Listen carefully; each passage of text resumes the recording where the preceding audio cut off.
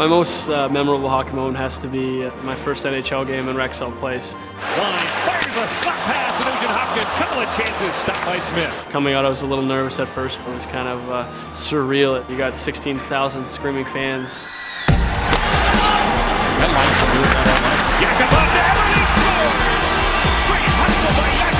I ended up uh, scoring my first goal that game, and I just remember how loud the crowd was.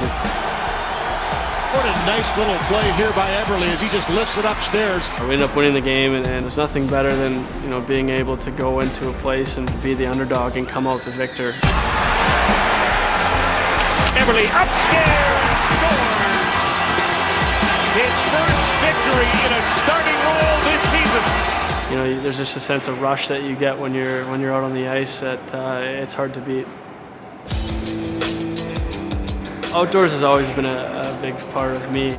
I kind of grew up playing hockey outside, and you know, you're, you're, skating around and you get the cold air on your face. You know, now that uh, I'm in the NHL, I, have got a chance to play a sport where I'm traveling a lot. I've uh, multiple times seen so many places, met so many people.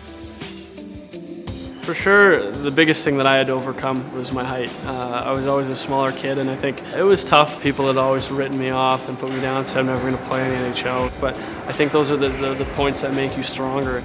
You know, wanted to prove those people wrong. I think I've kind of just used that as motivation.